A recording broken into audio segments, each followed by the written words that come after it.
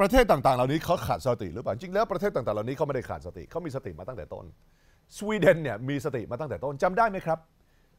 เราต้องทบทวนความจำกันนิดหนึ่งนะฮะเพราะว่าถ้าถ้าเกิดความจำสั้นกับประเด็นของโควิด -19 ในที่สุดแล้วเนี่ยพอถึงเวลาในอนาคตมีโรคระบาดอื่น ชื่ออื่น แล้วมันเกิดขึ้นอีกรอบเนี่ยนะฮะแล้วไม่ต้องห่วงนะฮะโรคระบาดซึ่งจะหลุดออกมาจากจีน จะมีอีกในอนาคตอีกหลายๆ ชนิดฮะไม่ต้องห่วงครับ มันเคยเกิดขึ้นมาแล้วหลายครั้ง แล้วมันก็จะเกิดขึ้นอีกหลายครั้ง โรคระบาดซึ่งหลุดออกมาจากจีน แล้วจะระบาดอีกในโลกมีอีกแน่ ในช่วงหลาย ๆ ทศวรรษข้างหน้า แต่สิ่งที่ต้องไม่มีอีกแน่นะฮะซึ่งซึ่งมันต้องไม่มีอีกเนี่ย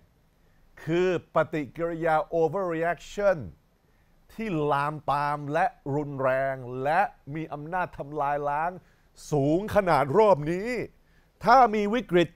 โรคระบาดในอนาคต ทุกประเทศในโลกต้องตั้งสติอย่างที่สวีเดนเขาตั้งสติ ไม่มีทางเลือกซึ่งจะไปแนวออสเตรเลีย หรืออเมริกา หรือหรือหรืออิตาลีหรืออังกฤษในระยะแรกๆ ซึ่งล็อกดาวน์หนัก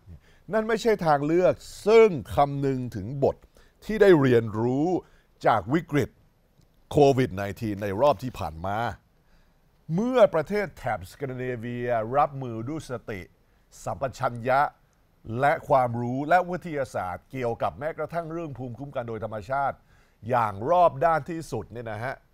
ในแบบที่ไม่มี policy ซึ่งเป็น overreaction แบบหลาย ๆ ประเทศรวมทั้งไทยเนี่ยนะฮะโมเดลสวีเดนคือเมลโมเดลของการรับมือโรคระบาดเช่นนี้ในอนาคต จารึกความจริงนั้นไว้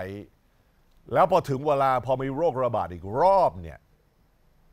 จะได้ไม่เสียสติแล้วก็ใช้นโยบายล็อกดาวน์แบบที่รอบที่ผ่านมาได้ทำกัน